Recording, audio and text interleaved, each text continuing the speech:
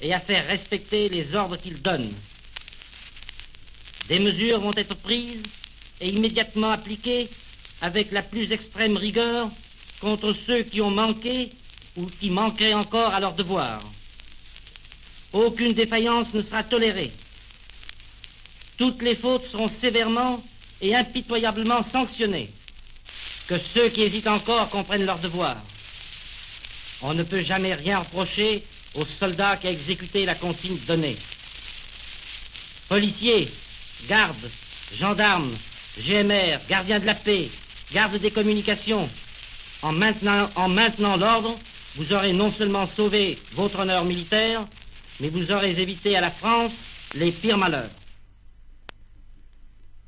Tandis que les Alliés renforcent leur tête de pont et prennent Cherbourg, deux fois par jour, la voix de Philippe Henriot condamne les actions de la résistance. Il en est ainsi le 27 juin. Injuriez donc, couvrez-moi de ce que vous appelez vos outrages. Je ne répondrai plus. S'il y a du sang entre nous, c'est vous qui l'avez versé. On ne discute ni avec les diffamateurs, ni avec les meurtriers. Je vous ai fait trop d'honneur.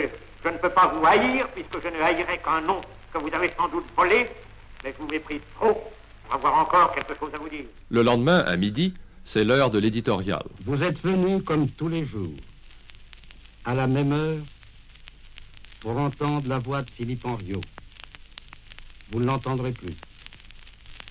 Philippe Henriot a été assassiné ce matin au ministère de l'Information. Il a été abattu à coups de sous les yeux même de sa femme. Je viens de quitter cette femme douloureuse et digne. Ma pensée reste auprès d'elle et de ses enfants, si injustement et si cruellement frappés.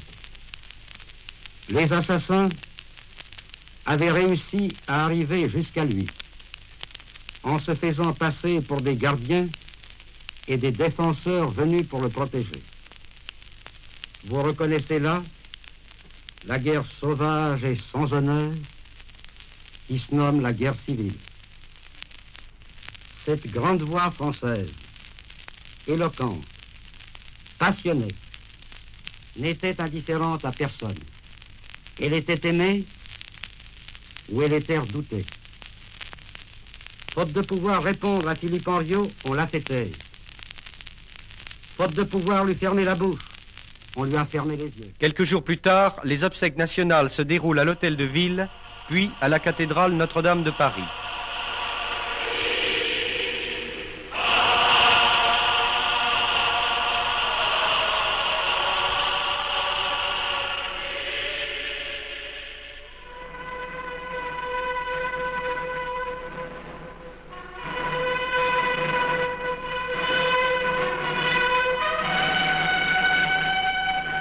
Pour venger la mort de Henriot, la milice assassine Georges Mandel, ramené d'Allemagne en France. Visiblement, l'on entend outre-Rhin traiter la France en otage. Jean Zay, ancien ministre, est lui aussi victime des règlements de compte. Notre pays a toujours été connu pour le charme de son accueil et de son hospitalité. Nul mieux que lui, pensons-nous, ne pouvait réunir les qualités susceptibles d'attirer les étrangers de marque. Vaincu sur les plages de Normandie, l'armée allemande subit un désastre total en Russie blanche à partir du 20 juin. Parlant aux obsèques du général Detel, le maréchal Keitel annonce de dures épreuves. dieser Kriegszeit hart geworden und nimmt Verlustmeldungen in soldatischer Haltung entgegen.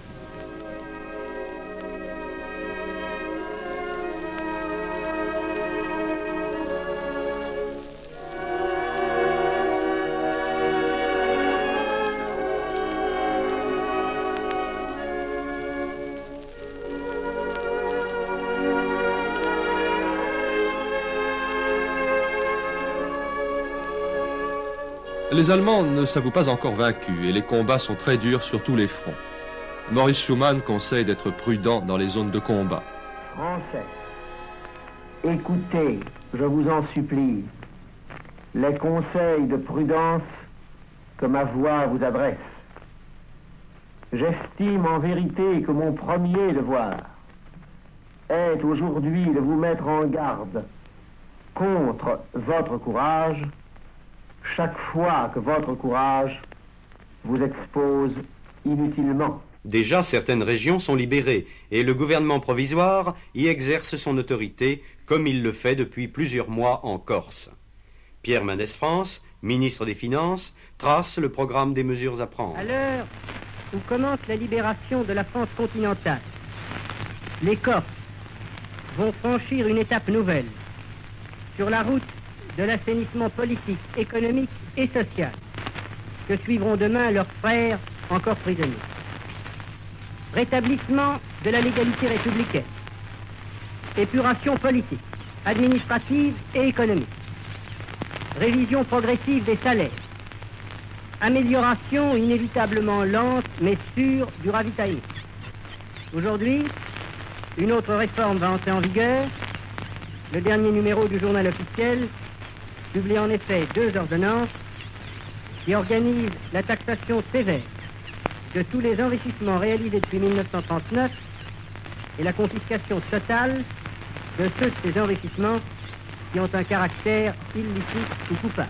Pendant ce temps, le général de Gaulle est reçu triomphalement à New York par le maire Fiorello LaGuardia. General Charles de Gaulle, I'm happy and proud to welcome you to the city of New York. You, who are the symbol of fighting France, of liberty-loving France. Vive la France! Vive la France! I thank you very much, Mr. Mayor, on your all for your exceptionally good and friendly reception.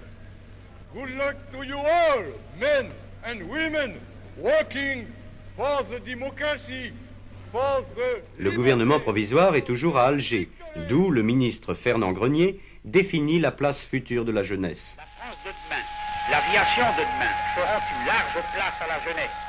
Elle le mérite par les sacrifices consentis aujourd'hui sur les champs de bataille ou sur le front intérieur de la métropole.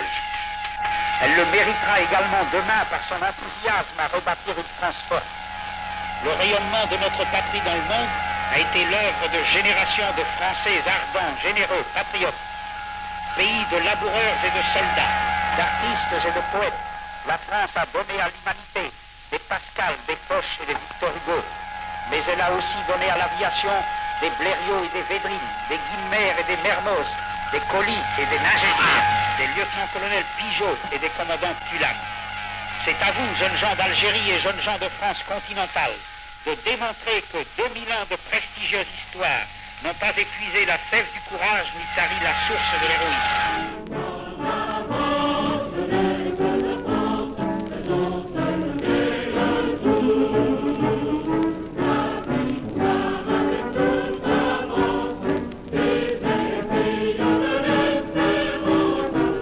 Les plus durs combats se déroulent autour des ruines de Caen et notamment pour l'aérodrome de Carpiquet, enlevé par les Canadiens.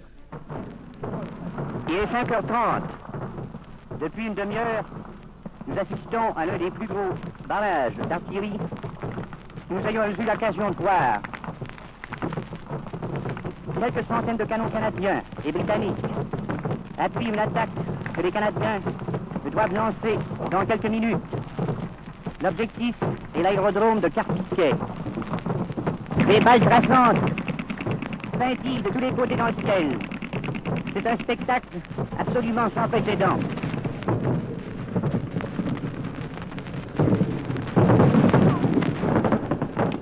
Les Allemands sont enfin chassés des ruines de Caen par les troupes de Montgomery au début de juillet. Les Allemands sont partis sans plus ne comprendre que quand ils sont arrivés. Ils croyaient que nous serions, que nous nous monterions écrasés sous les ruines. Ils se sont trompés. Depuis quatre ans, ils n'ont rien compris à l'âme française.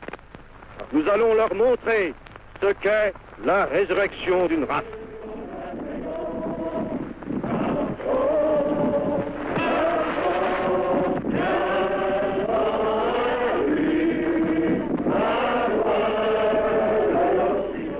Pour la première fois depuis quatre ans, on fêtera le 14 juillet en Normandie.